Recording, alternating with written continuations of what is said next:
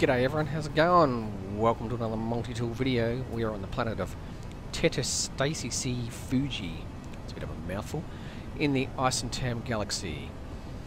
And after, I think it's 85 settlements, it's been a bit of a long hunt this one, I found this.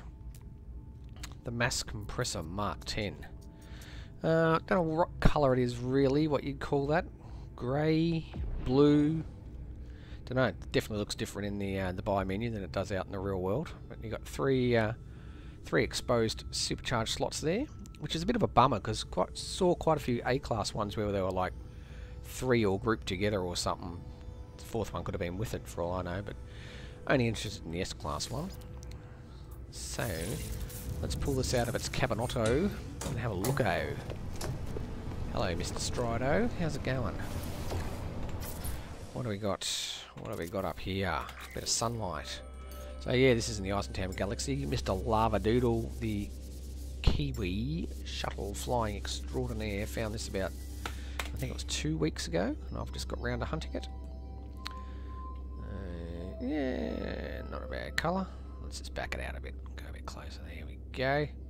So there's the glyphs down there in the corner. Um, you've got to reload on this planet of whatever it was, Tetastasis Fuji, I think it was. Some ridiculous procgen name. Uh, yeah, got to reload on this planet and come to this settlement to get this one. Yeah, it's been a bit of a longer hunt. I think this uh, good old spaghetti face dude here, he might be losing his mojo when it comes to hunting. I seem to have a, quite a few long hunts when I've used him. Anyway, point being, this is at minus 63.84 plus 2.84 in the Eissentam Galaxy. Make sure you're in Eissentam before you dial the portal. Make sure multiplayers turn off before you come through the portal. And all that sort of stuff. There we go. Alright everyone, have a good one. That ought to do it for me. And I'll catch you next time. For new.